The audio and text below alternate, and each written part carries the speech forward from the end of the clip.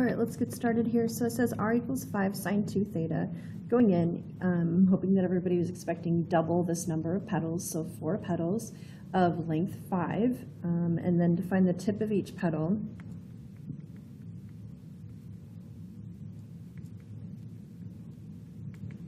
Um, to get double the number of petals, we just show in our work that we know that we get different ones from positive and negative R values. So since the maximum value is 5, um, we'll just go ahead and put plus or minus 5 in for R, and then solve for theta. So let's divide both sides by 5. And then at this point, we're unit circle ready, so I'll just go ahead and draw a little unit circle. I'll mark the places where the sine is either plus or minus 1. And then we're looking for 2 theta to basically equal pi over 2 plus pi n. To solve for theta, we're going to divide both sides by 2, and we get theta is equal to pi over 4 plus pi over 2 times n for all n from the set of the integers. Okay, so what does this tell us? So you could just start plugging in n values starting at 0 um, and then just generate your angles where you'd have tips of petals. Um, so like if n was 0, for example, theta would be pi over 4. So at pi over 4, 1, 2, 3, 4, 5, um, I would have a tip of a petal there. Um, let's see, if n was 1, um, I could just have pi over 4 plus 2 pi over 4, which would be 3 pi over 4. So at 3 pi over 4, I'd have a tip of a petal. Um, and then you can also think of this as just starting at pi over 4 and adding a fourth of the circle, um, multiples of the fourth of a circle. So um, you could also count the spokes, 1, 2, 3, 4, 5, 6, and then 1, 2, 3, 4, 5, 6. 1, 2, 3, 4, 5, 6. Okay, and then fill it in. And what I'm looking for when you fill it in is that you have four petals and they don't like overlap with each other um, in here toward the center at all, but they do go through the pole between, you know, from one petal to the next.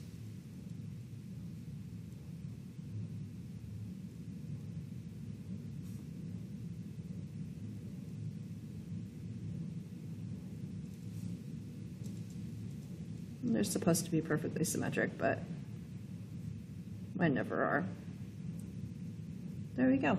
Um, and that's really what I was looking for. So um, points, notice the direction said show the algebraic analysis for finding the location of the tip of each petal for each rose curve. So I'm looking for work like this um, to give you, you know, part, part of the credit. So, um, so first thing, it's worth two points to have set um, your expression equal to plus or minus five. An equivalent to this would be if you don't have this five here, um, and you have plus or minus one here. So like if you skipped to this step, um, then uh, that would count. So plus two um, for that. Um, let's see, the next thing I'm looking for is for you to have um, 2 theta set equal to pi over 2 plus pi n. Um, let's see, point for that when you solved for theta, pi over 4 in your answer is worth one point, and then plus pi over 2n is worth another point.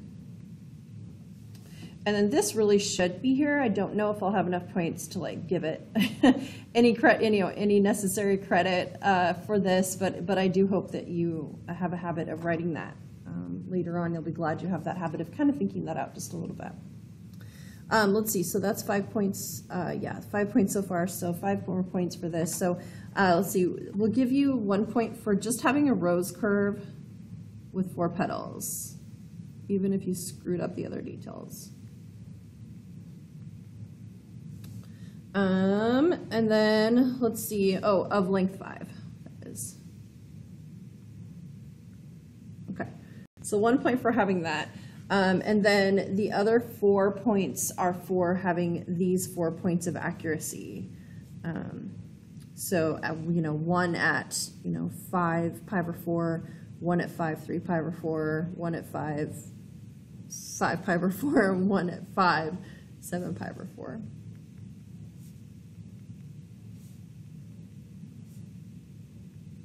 There we go, and that's the 10 points for that one. Okay. Um, very similar, part B, um, there are two ways to do it. You could set r equal to positive 4, which I prefer, and then solve for theta, knowing when you're done, your angles are places where you should go toward those numbers 4, because you, that you asked for when r would be positive 4. Now, if you set r equal to negative 4, you could get the same picture that I'm going to get, but you do it by taking the angles you get and going away from them 4, because you asked for r to be negative 4. So it's really just a matter of paying attention to what you asked for. Um, so basically, if you get kind of a mirror image of what I'm getting, then it's likely that you asked maybe for r to be negative 4, but then you treated it like you asked for r to be positive 4. I hope that makes sense. Okay, so uh, since you have an odd number here, you'll get exactly three petals. Um, and so I'll set r equal to 4.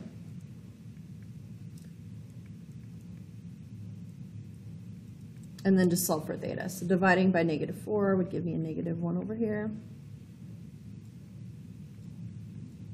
This is unit circle ready, so I'm just going to look for places where my cosine would have been negative 1. Um, and then, so that would give me 3 theta would equal pi, and then I'd have to go all the way back around. And then divide both sides by 3, and you'd get theta would equal pi over 3 plus 2 pi over 3n for all n from the set of the integers. There we go. Okay. Um, now turning this into a graph, you know, you could just plug in different n values starting at 0 and generating angles. So like if I let n be 0, I'd get pi over 3. I'm gonna ask for when r would be 4, so I should go toward it 1, 2, 3, 4 because of the equation that I set up and solved. Um, and then if you were to um, plug 1 in for n, then you'd get pi over 3 plus 2 pi over 3, which would be 3 pi over 3 or pi. So you're going to go toward that 1, 2, 3, 4.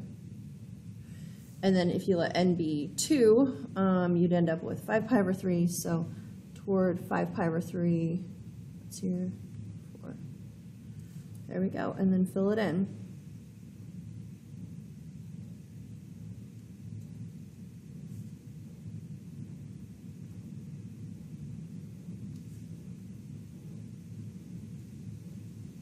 Okay, um, so let's see, points very similar to the way we scored the last one.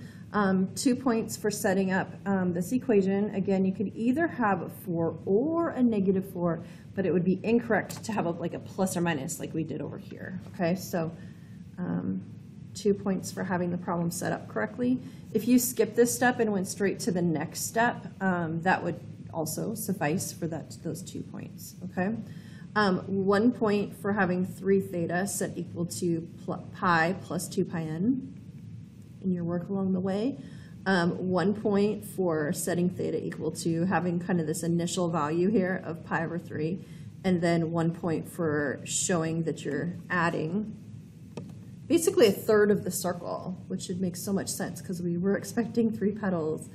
Um, anyway, so uh, this should be here. Pat yourself on the back if you have it. Add it in if you didn't. Um, it, it's worthwhile to kind of keep trying to remember to add things like that.